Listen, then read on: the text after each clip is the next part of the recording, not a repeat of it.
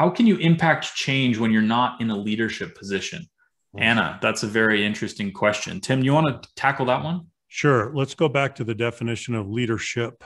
So the best the best synonym for the word leadership in the English language is the word influence. And so the first thing that I would do is back you up and say you are a leader. You may not be a manager formally. You may not have title, position, and authority, but that's okay. You have the ability to influence.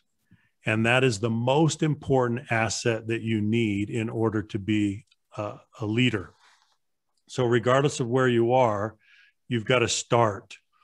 Now, the best way to influence is, first of all, to become competent.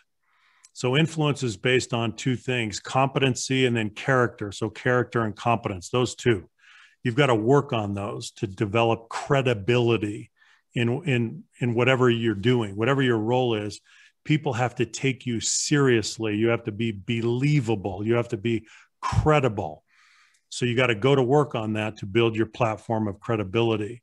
And then regardless of what what your position is, you you'll be able to scale your influence and your impact.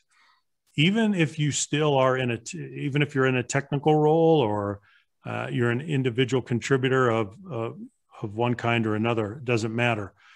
So we work with, uh, and I interact with um, incredibly powerful leaders all of the time that don't have high managerial positions, but they're taken very, very seriously in their organizations. So I would ask you to think about that. Go back to the definition of leadership. It's all about influence.